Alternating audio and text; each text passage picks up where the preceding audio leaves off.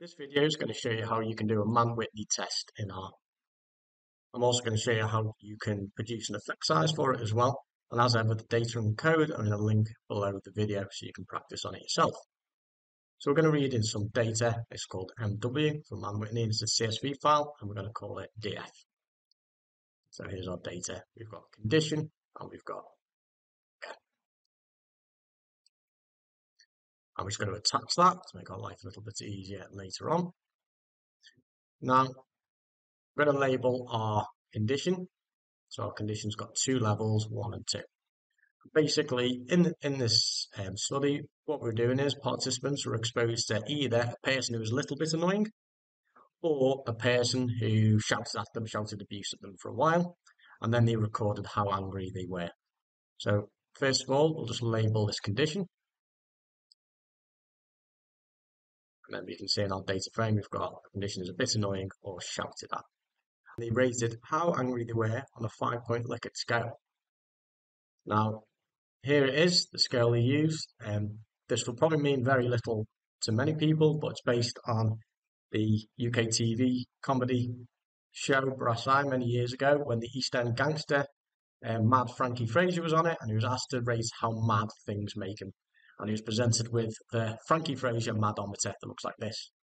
So the lowest level of mad was low myth, then there was narked slash narky, lightly bonkers, massive huff, and as mad as a lorry.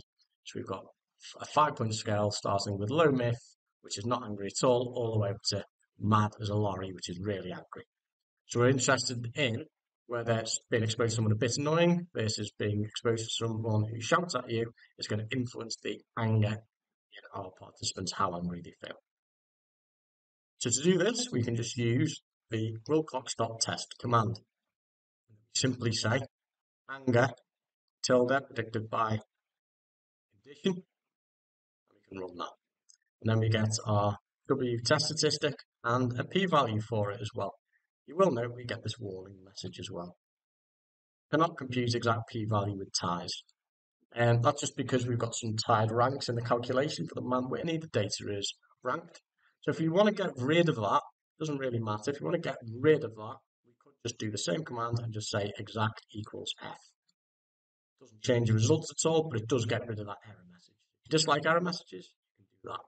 So we've got our W statistic of 16 and our p-value 0.00 eight. So there's a significant mm-hmm. difference between conditions. We could also get effect size for this. So we can get effect size and R effect size for this. And we can do this using the rstatix package. If you haven't already installed it, you'll need to. If you have, you will have your library. And then we use the command wilcox_effsize. And then we say the data frame we're using. In this case, we called it DF. And then, just as before, this is anger tilde prediction. So anger predicted by condition. And here we go. Gives us our effect size of 0.599. So you'd run that to 0.60 probably. And the magnitude of that is interpreted as being large. And that's how you can do a Mann-Whitney U-test